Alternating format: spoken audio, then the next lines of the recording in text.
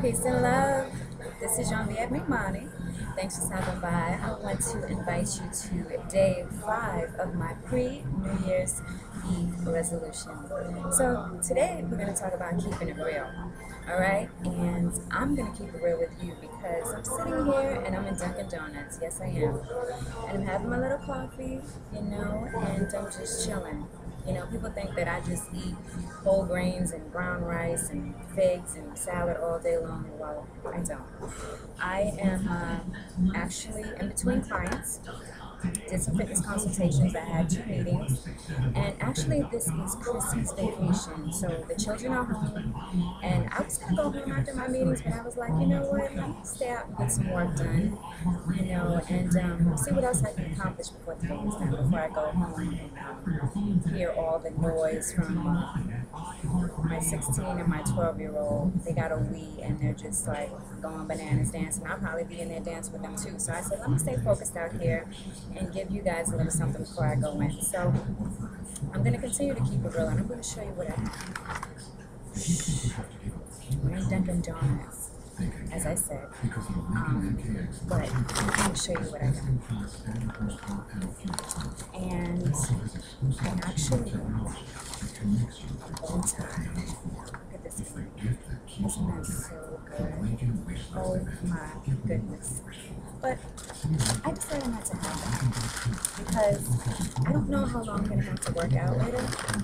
So if I eat that, I'm going to have to at least put aside 36 minutes to work out.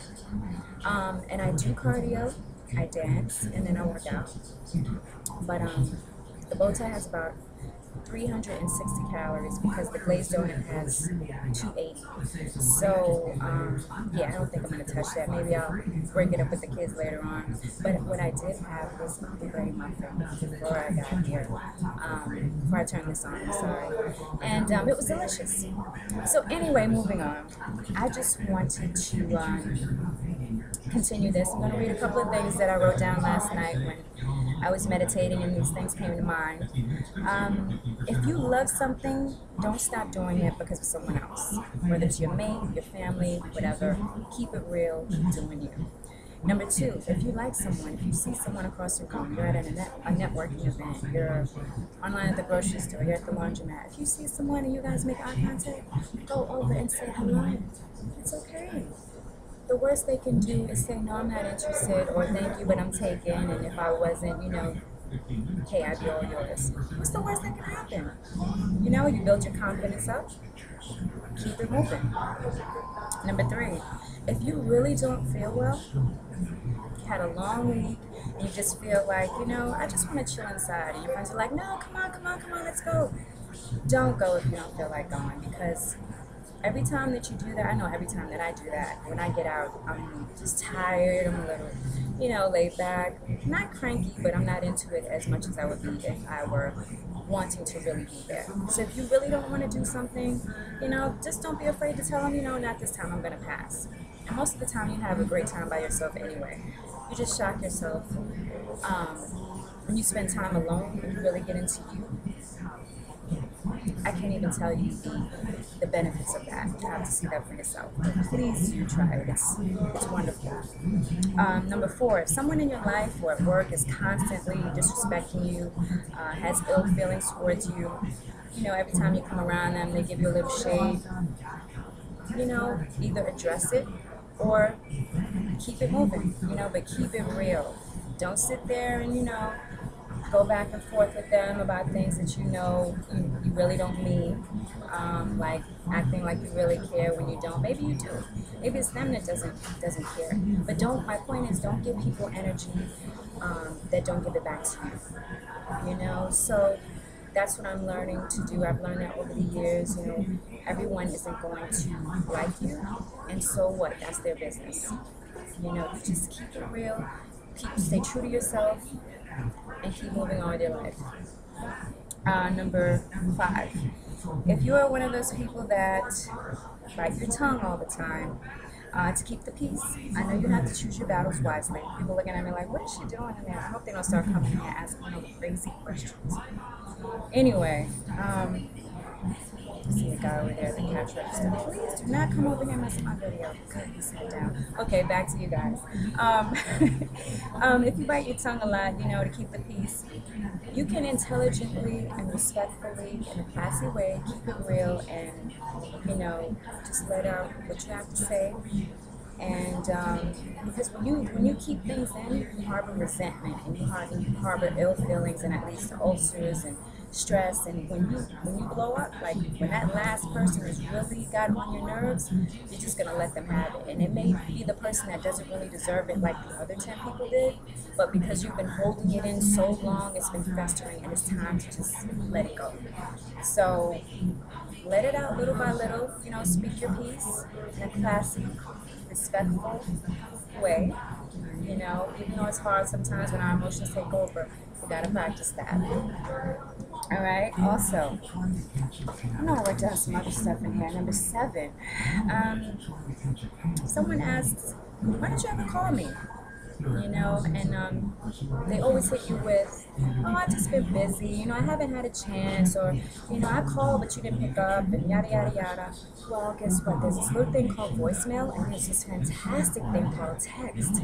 So, you know, you can send a text to someone every now and then, let them know you're thinking about them. Um, leave a voicemail if they don't pick up. You know, people make time for what they really want to make time for. So don't let someone tell you, you know, I just didn't have time, I'm really busy. They make time for that guy, they make time for that girl, they make time for their rims to get shine, they get time for their nails and their hair done, you know. So the point is keep it real. If you're bumping into someone and keep saying that every time you see them, then that means probably they don't want to talk to you. You know, bottom line and that's fine. That's fine because you don't need them. You don't need, don't try to be in anyone's circle that isn't trying to be in yours. That's all I'm saying. You know, 2012 is coming. We got to get this out, this negative energy out. Do things that bring back positive energy to you.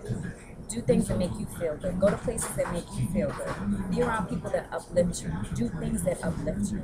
Read, educate yourself. Uh, go different places. You know, there's a, an abundance of things that we can do alone that don't require a lot of people, or maybe you know one other person. But what I'm saying is, don't put your life on hold waiting for other people, right? Because you miss out on a lot. Life is too damn short. Um, what else? If you're, hmm, this is touchy. If you're in an argument with someone, preferably your mate, and you try to act like everything is all good, you know, and um, you're really trying to walk away just to save face, but you're really, really acting like, you know, I'm good, whatever. But you're really upset and you do something that you're going to regret later after you leave the house because you're, you're upset. Don't do it. Just keep it real. Tell them how you feel. Tell them your feelings are hurt. You know, baby, that really hurt my feelings when you said XYZ. You know, I prefer if we talk about it, you know, can we handle it like this? Or this is what I meant to say. Um, you know, accusations, pointing the finger, you always, never, um, can't, I don't want to, you know, those are negative things in a relationship. I'm no relationship expert, but what I'm saying is I was married, um, happily divorced, and actually we are really good friends now. But um, I've learned a lot, and um, those words do not help, definitely. So what you want to do is always try to talk to the person that you're with, and um, you know, not yell, you know, try to handle things in a peaceful way, especially if you have kids around, you know, um, they don't need to hear all of that. So I hope that this segment of keeping it real helped you out. You know, you see what I do. Um, I think I know what every single Dunkin' Donuts is in New York City. Um, they actually just gave me the password to the, the Wi-Fi. They said, you know, they came over and said, you know, we don't ever give it out to anyone, but we're going to give it to you because we see you are very loyal here for the past two, three years. So, shout out to Dunkin' Donuts. Um, thank you guys for having me looking at me over there.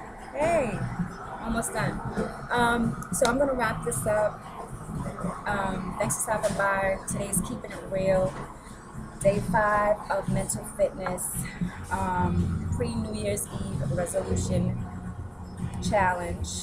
So if you haven't seen the other videos, feel free to stop by. You know, um, visit me on YouTube, Miss Independent 0808. and subscribe so that every time I do a video, comes